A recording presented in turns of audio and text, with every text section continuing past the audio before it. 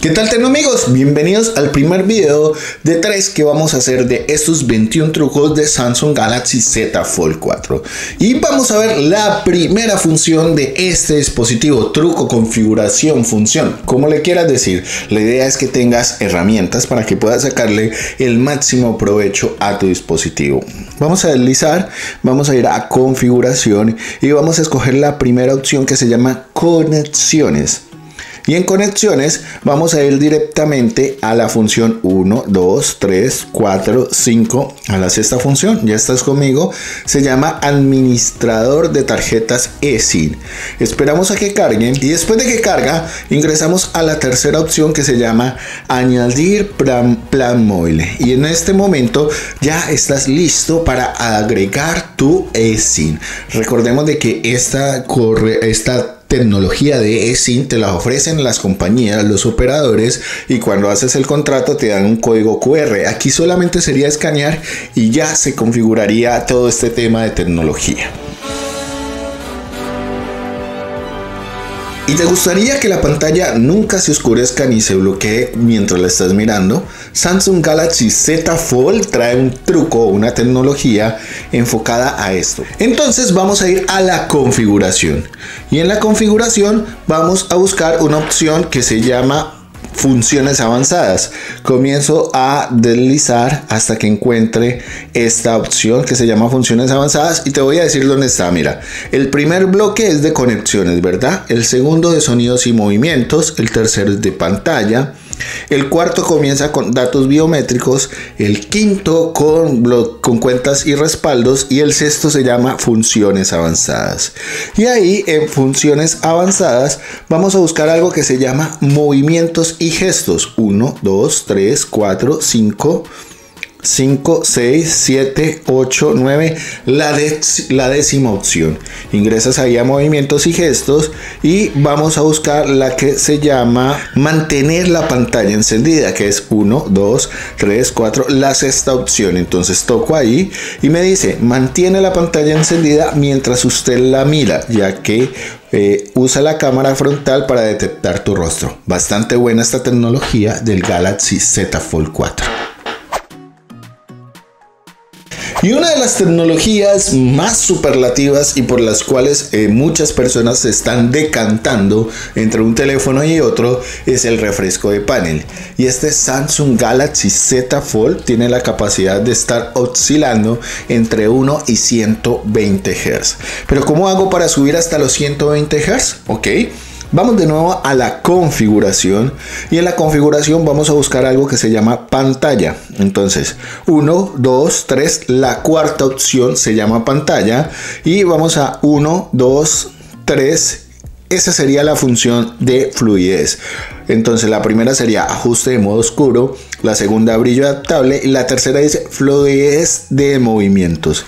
Ingresamos a él y me dice, mira, tengo la opción adaptable que proporciona una mejor fluidez en animación y desplazamiento y puede actualizar automáticamente la frecuencia hasta 120 Hz. Buena. Y estándar es para que quede en 60. Entonces, si tú lo dejas en adaptable, él va a estar reconociendo que se ve y se va acomodando a lo que necesite hasta llegar a un 120. Si no, si lo dejas en estándar, siempre va a trabajar a 60 Hz. Obvio que si lo pones a 120, en algún momento la batería se va a ver afectada porque necesita más gasto de batería para estar haciendo esta adaptación.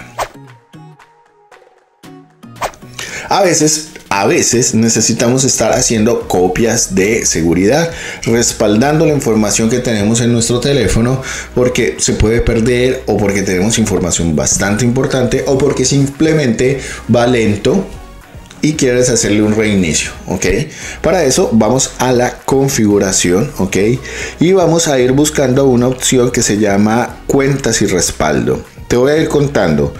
El primer bloque es conexión, el segundo es sonido y vibración, el tercero comienza con pantalla, el cuarto con datos biométricos, ok, el quinto es cuentas y respaldo, que es lo que necesitamos. Ingresamos ahí y vamos a entrar a la segunda opción que se llama hacer copia de seguridad de los datos.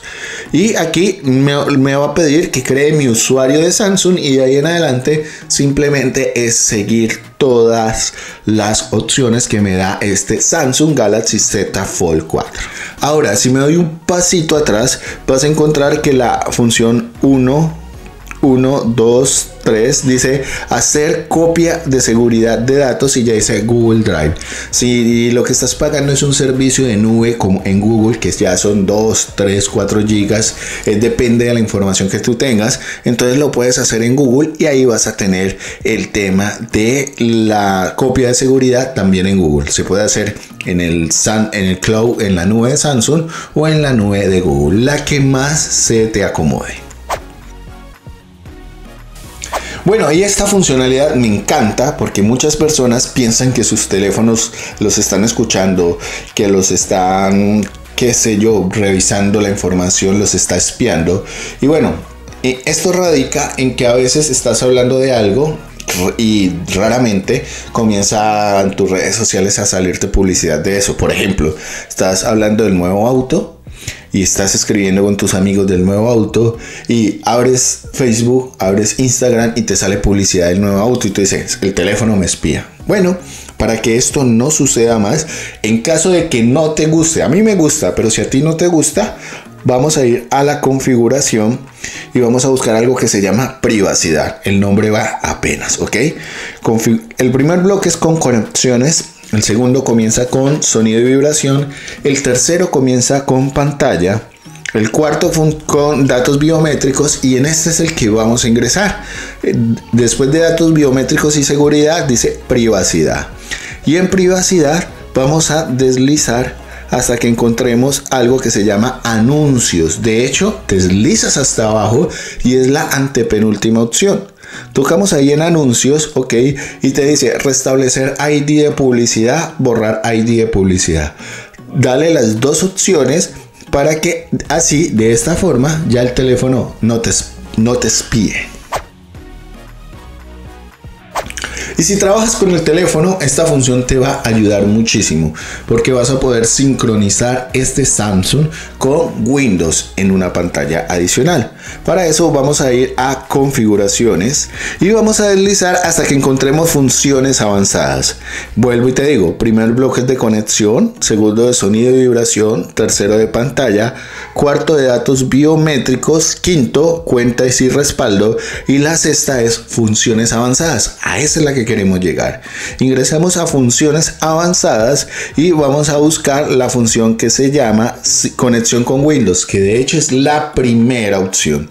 Ingresamos ahí y él te va a decir todos los pasos que tienes que hacer. Debes descargar una aplicación en tu PC, se van a hacer la sincronización y dice, cuando yo hago esto, puedes administrar sus notificaciones móviles, pasar las fotos como si fueran solamente pasar de una pantalla a otra, responder llamadas desde tu PC, eh, mantenerse el día con las conversaciones de WhatsApp, ok, responder el WhatsApp y aprovechar aplicaciones móviles en el PC, ¿ok?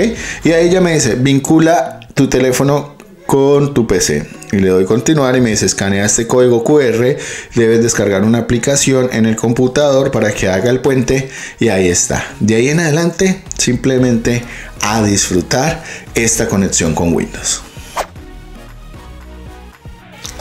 Y este Samsung Galaxy Z Fold trae una función para leer códigos QR. Por ende, por ende, no tienes que descargar ninguna aplicación. Este truco número 7 lo vamos a dedicar a un truco de cámaras, a una función, a una configuración, como tú le digas. Y para eso, sencillamente vamos a ingresar a la cámara y en la cámara vamos a ingresar a el tema donde dice lo voy a dejar en imagen perfecto y toco la configuración. Está en la parte izquierda superior. Cuando entro en la configuración ahí la tercera opción me dice escanear códigos QR debo verificar que esté azul ¿Para qué? Para que cada vez que yo vaya a un restaurante, por ejemplo, y me pasen la carta del restaurante, yo solamente abra la cámara, ponga el QR frente a la cámara y ya lo detecta. Y así es fácil, vamos terminando este primer video, pero recuerda que tenemos tres trucos más para que tengas 21 trucos sobre el Samsung Galaxy Fold 4. Tecno amigos, nos vemos en los próximos videos. Pero antes de eso, déjame decirte que aquí, en este listado, te voy a dejar toda la información que necesitas saber de este Samsung Galaxy Z Fold. El unboxing, el review, estos trucos, cámara, carga, todo, todo. Nos vemos en un próximo video. Chao, chao.